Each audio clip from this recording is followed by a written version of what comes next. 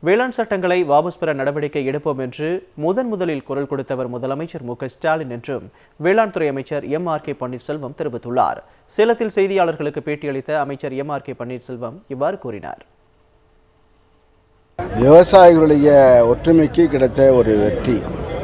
முத- முதல் குரல் கொடுத்து தமிழகத்தில் தம்முடைய முதல்வர் அவர்கள் குரல் கொடுத்து இப்போ வேளாண் சட்ட தடை சட்டத்தை எதிர்த்து சட்டமன்றத்தில் சட்டத்தை நிறைவேற்றி எதிர்ப்பு குரல் கொடுத்தாக மத்திய அரசை ஒன்றிய அரசை எதிர்த்து குரல் கொடுத்தவர் திராவிட முன்னேற்ற கழகத்துடைய தலைவர் நம்முடைய முதல்வர் அண்ணன் தளபதி அவர்கள்.